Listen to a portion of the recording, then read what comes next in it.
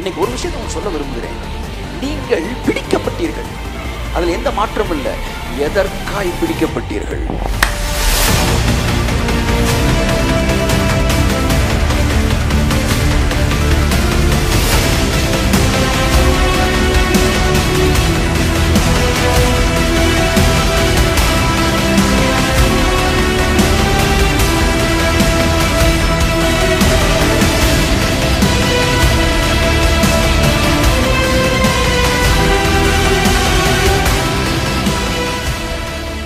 அப்ப என்ன? ரட்சிப்பை நிறைவேற்றுவதுனா என்ன?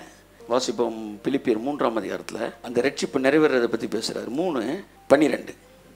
மூணு பன்னிரெண்டு. நான் அடைந்தாயிற்று அல்லது. முற்றும் தேறினோனானேன் என்று.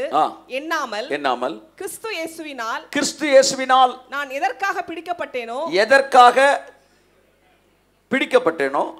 அதை நான் பிடித்துக் கொள்ளும்படி அதை நான் பிடித்துக் கொள்ளும்படி ஆசையாய் தொடர்கிறேன். ஆசையாய் தொடர்கிறேன். ஆமென் சொல்லுவோம். எதற்காக நான் பிடிக்கப்பட்டேனோ? ஆமென் சொல்லுவோம். ஆ எதற்காக நான் பிடிக்கப்பட்டேனோ? அதை பிடித்துக் கொள்ளும்படி. உங்களை தேவன் பிடிச்சார்ல? பிடிச்சாரா இல்லையா?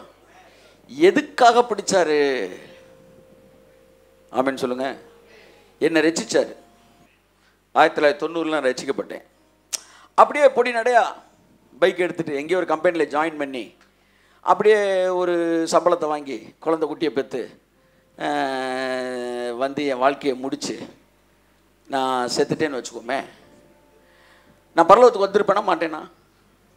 நான் சொல்லுங்கள் கட்டாயம் வந்திருப்பேன். ஏனென்றால் எனக்கு கொடுக்கப்பட்ட ரட்சிப்பு அத்தகைய ரட்சிப்பாக இருக்குது.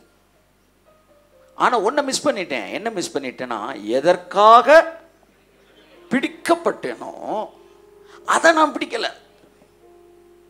நான் ரட்சிக்கப்பட்டுட்டேன் நான் அபிஷேகம் பண்ணிட்டேன். ரக்கா பாபா ரிபா பாபா.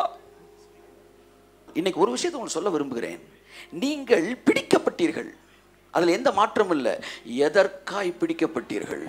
கையை தட்டும் போதுதான் எதற்காய் நான் பிடிக்கப்பட்டேனோ இந்த பர்பஸுக்காக எந்த பர்பஸுக்காக தேவன் என்னை தொட்டாரோ எதை மனசுல நினைச்சு என்ன தேவன் அழைத்தாரோ அதை நான் பிடிக்கும் போது அதை நான் நிறைவேற்றும் போது நான் என்னுடைய ரட்சிப்பு நிறைவேறுகிறது. கையை தட்டுங்க ஒரு அவருக்கு ஆமே ஆமென் நாமே நாமே ஆமென் ஆமேன் ஆமென்.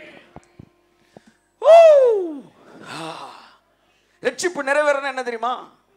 உங்களை பிடிச்ச தேவன் எதை நினைச்சு பிடிச்சாரோ எதற்காக பிடித்தாரோ அதை உங்கள் வாழ்க்கையில் நீங்கள் நிறைவேற்றுவதற்கு ஒர்க் அவுட் பண்ணும்போது ஒர்க் அவுட் பண்ணும்போது எக்ஸிக்யூட் பண்ணும்போது டிஸ்சார்ஜ் பண்ணும்போது அது வெளிப்பட ஆரம்பிக்கும் போது உங்களுடைய ரட்சிப்பு நிறைவேற ஆரம்பிக்கிறது. லட்சக்கணக்கான பேர் ரட்சிக்கப்படுகிறார்கள். கோடிக்கணக்கான பேர் ரட்சிக்கப்படுகிறார்கள்.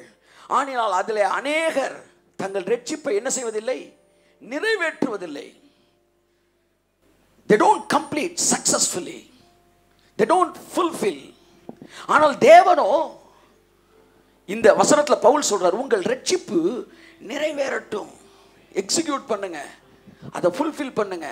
எதற்காக உங்களை பிடித்தார் தேவன்? எதற்காக உங்களை பிடித்தார் தேவன்? There is a purpose behind it ஒரு குண்டூசியை படைக்கிறவன். அதை படைக்கும் போது ஒரு நோக்கத்தோடு படைக்கிறான். எதற்காக அந்த குண்டூசியை உருவாக்குறீங்க? நாலு பேப்பர் பறக்காம இருக்கிறதுக்கு சேர்த்து குத்துறதுக்காக இந்த குண்டூசியை படைக்கிறேன். ஒரு குண்டூசியை செய்கிறவன் கூட ஒரு நோக்கத்தோடு குண்டூசியை செய்கிறான் என்றால் உன்னை அழைத்த தேவன் உன்னை சிருஷ்டித்த தேவன் உனக்கன்று திட்டங்கள் இல்லாமலா உன்னை ஒரு ஊழியனை பார்க்க வைத்திருப்பார் ஒரு ஊழியத்தில் இணைய வைத்திருப்பார் உன்னை ரட்சிக்கப்பட வைத்திருப்பார். காட் ஹாஸ் பர்பஸ் பிஹைண்ட் உங்கள் காலிங்க்கு பின்னாடி ஒரு பர்பஸ் இருக்கு. யூ ஆர் அ சோசன் ஆமே come on say teach other சொல்லுங்க யூ ஆர் அ சோசன் சொல்லுங்க பக்கத்தில் பார்த்து சொல்லுங்க. யூ ஆர் அ சோசன் ஆமே நீங்கள் நீங்கள் நீங்கள் தெரிந்து கொள்ளப்பட்டவர்கள்.